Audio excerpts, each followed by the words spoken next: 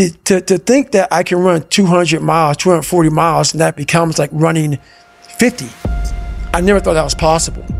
This is why I'm, I'm always pushing that limit because I know that within pushing these limits, there's always more.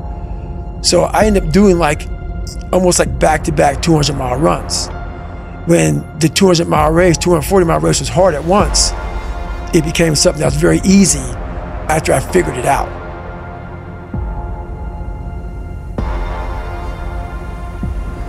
So for me, this was the new level. Welcome back, everyone. Today, we're diving deep into the mindset of one of the toughest individuals on the planet, David Goggins. Strap in, because we're about to explore the mind hacks David uses every day to push his limits and how you can use it to transform your life. David Goggins, a former Navy SEAL, ultramarathon runner, and motivational speaker, wasn't always the epitome of mental toughness. Growing up, he faced adversity and struggled with his weight and self-esteem. The mind controls everything. You get to 40%, your brain says, we're done. So you sit down. Goggins coined the term 40% rule to describe the idea that when your mind tells you you're done, you're actually only 40% done. The other 60% is where your true potential lies. So if you know that at 40% I'm still, you know, I'm feeling pain. At 40% I'm feeling pain. That's where the 40% rule kicks in. Now it starts. Okay, I'm, I'm feeling pain. My mind's saying all this shit to me. It's saying, get out of here, run, flee. Okay, we're done. We're not good enough. It starts telling you all these things. You start to believe it. This is the time where you have to gain control back of your mind. It's okay. Let me see if I can go 45%. You start then controlling your mind. Start finding more in, you know, in yourself. And then it goes from 40% to a lot further than that. But that's the start of it though. Get to get to the spot where your mind is saying stop. Get get there first. And then that's when that shit starts to work for you. You got to control yourself in that moment. The 40% rule isn't just about physical endurance.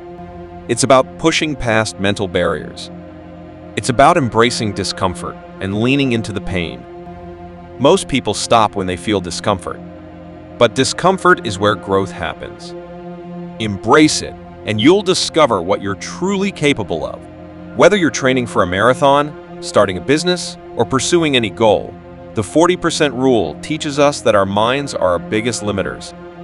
So, how can we apply the 40% rule in our own lives? It starts with embracing discomfort and pushing past our perceived limits. Here are three key strategies to harness the power of the 40% rule. Number one, set audacious goals. Don't settle for mediocrity. Aim high and push yourself beyond what you think is possible. Number two, develop mental resilience. Train your mind like a muscle.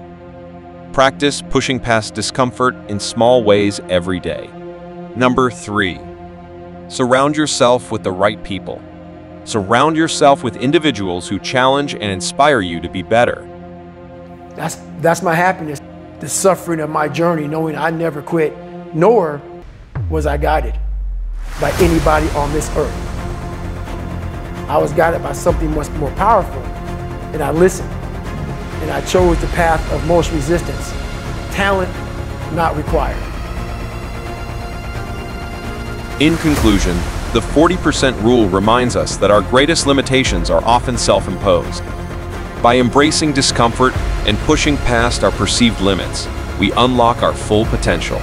So, the next time you feel like giving up, remember David Goggins and the 40% rule. You're capable of so much more than you think. It's about gaining control of your mind, putting things back in the proper perspective, and then saying, I really do want to be here and I have to learn to control these because if I fail, I will not be a SEAL. I will not be a doctor. I will not be a lawyer. I will not be whatever the fuck it is. I believe that most human beings are only living at about 40% of their capability.